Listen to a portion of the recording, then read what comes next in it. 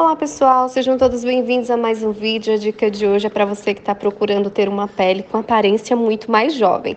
A dica de hoje é utilizando a gema. Para quem não sabe, a gema possui algumas proteínas que são muito importantes para a firmeza da pele e ajudam inclusive você a eliminar algumas marcas de expressão e a evitar o aparecimento de muitas, tá bom? Então, se você ainda não tem rugas, pode se tornar uma forma preventiva para você. Você vai colocar uma gema dentro de um recipiente, vai dar uma mexidinha se você se incomoda com o cheiro, passa na peneira antes, que assim sai todo o cheiro. Aqui eu vou colocar mais ou menos meia colher de café de óleo de onças, a quantidade realmente é muito pouca, tá, do óleo de onças.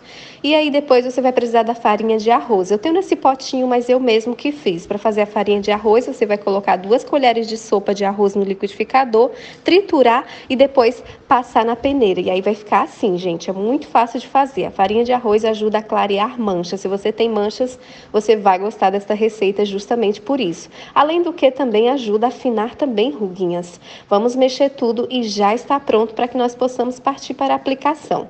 Nós sempre focamos aqui em teste alérgico, porque mesmo sendo alguns produtos naturais, algumas pessoas podem sim ter alergias aí e não queremos que isso aconteça. Então, antes de aplicar na pele, passa no cantinho do pescoço e espera pelo menos 10 minutos para ver se vai ter alguma reação negativa.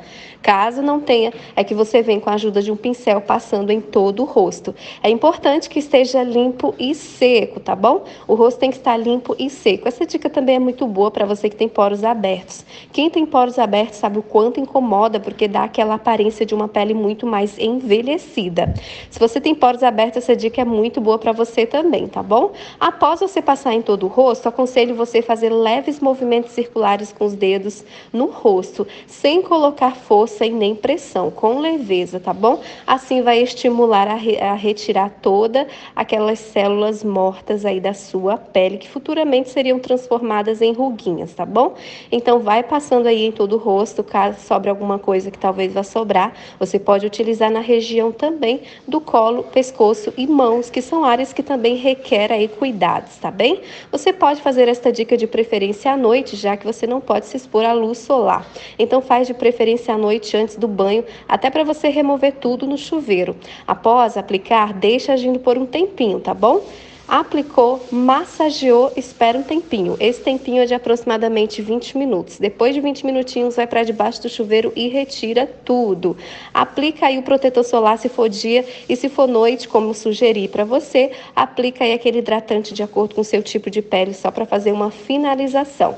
Não é uma receita que você precisa fazer todos os dias. Faça aí uma vez por semana apenas, tá bom? E já deixa o restante da farinha de arroz guardado no potinho, assim como eu faço aqui em casa também. Se você está aqui no nosso canal pela primeira vez, eu te convido a se inscrever, ativar as notificações e compartilhe nossos vídeos com aquela sua amiga vaidosa que adora receitinhas caseiras também, tá bom? Beijo grande a todos, até um próximo vídeo e tchau, tchau!